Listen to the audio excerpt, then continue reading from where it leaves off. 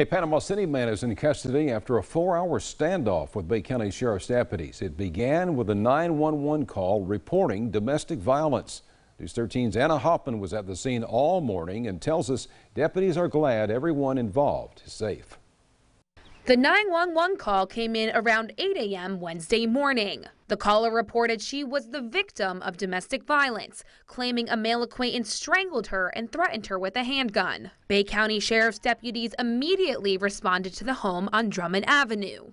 We made contact with the victim. Victim told us he was in the house. Deputies tried to make contact um, with no answer, and due to the fact that he was possibly armed, um, we uh, activated the SWAT team. They identified the suspect as 39 year old Joshua Day. In order to get him out of the house, SWAT members used the surround and call out procedures.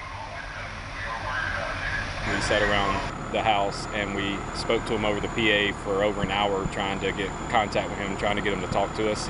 When that didn't work, they used tools like this bomb neutralizer to get inside the home. All the rooms were secure except for the attic. Deputies then found this entrance on the side of the home and climbed in to find Day hiding inside. By 12:30 p.m., SWAT took him into custody without any further incident. Oh, our SWAT team's the best in the area, no doubt, and they did a great job uh, coming to a peaceful resolution here. Day is being charged with domestic battery and aggravated assault, with more charges still pending. In Panama City, Anna Hoffman, News 13, Panhandle Strong.